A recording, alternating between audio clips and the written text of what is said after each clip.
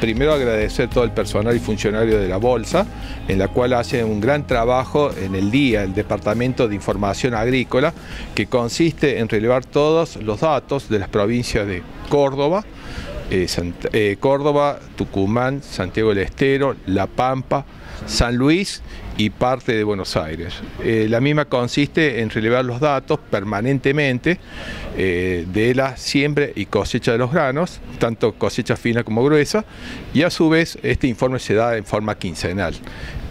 cuesta un gran trabajo intelectual y de confiabilidad, en la cual consiste en 340 informantes que abundan en los datos que son productores e ingenieros agrónomos de las distintas zonas de las provincias que he mencionado. La evaluación que estamos haciendo, que estamos esperando que llegue el niño, indudablemente que los estudios meteorológicos que no son certeros porque eh, gozan de, mucha incertidumbre a, tan largo plazo, pero vamos a tener, creo, un buen verano con buenas lluvias, buenas precipitaciones, ya que Córdoba sufrió tres, eh, vamos a decir, sequías, o sea, llamamos sequías al menor... Eh, menores lluvias eh, de los promedios que tuvimos, de las medianas que se llama, y bueno, este año creo que se va a normalizar y ahí va a haber una gran siembra. Con la baja productividad que tuvimos en la cosecha gruesa de un 50% en soja y un 40% en maíz, eh, indudablemente que no se llegaron a cubrir los costos de la producción y sería un buen argumento empezar a reducir o eliminar los derechos de exportación que le daría una mayor rentabilidad al productor. Y bueno, el gobierno, el futuro gobierno, quien le toque, tendría que revisar esta medida y no hacerle, vamos a decir, esquivar al sector productivo que aporta un gran eh, derecho de exportaciones a, los aranceles en cuanto a las divisas que ingresan al país.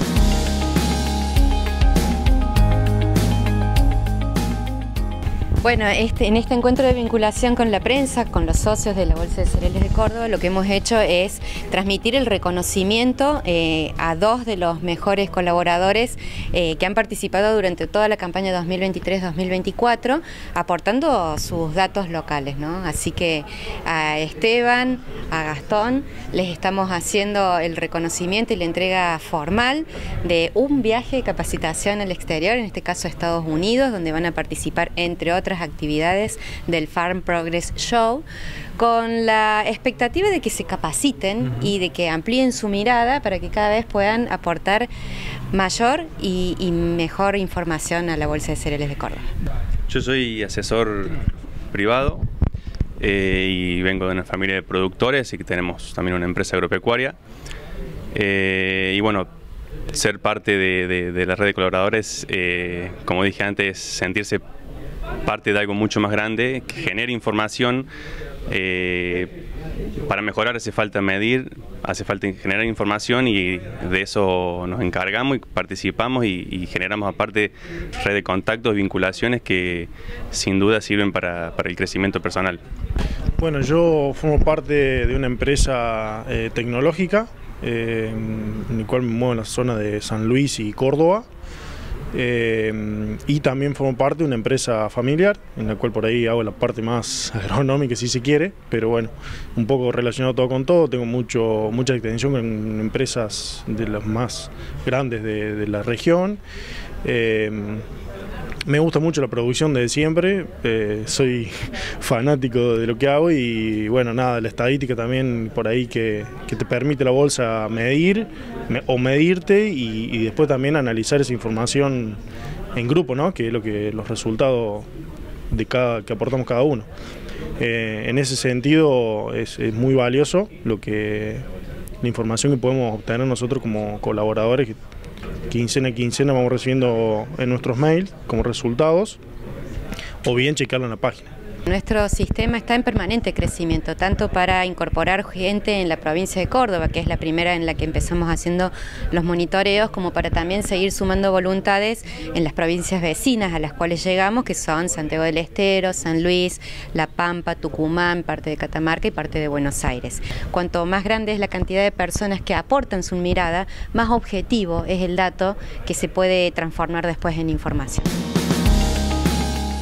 En cuanto a qué se espera eh, bajo condiciones del niño, sí se espera en condiciones más llovedoras. Hicimos un análisis ahí del año 2015 y 2018 con distintas condiciones del niño eh, de, de, diferente intensidad.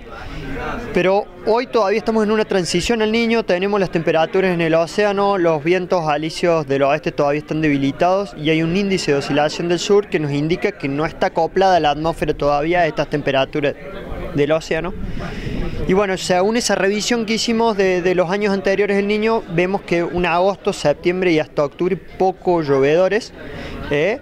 y después sí se ve eh, un noviembre que, por ejemplo, en el año 2018 se mostró con mucho volumen de lluvia. Bueno, creo que eso va a estar un poco hay que ver si se da parecido, pero va a ser un poco lo que va a condicionar eh, la siembra. ¿no?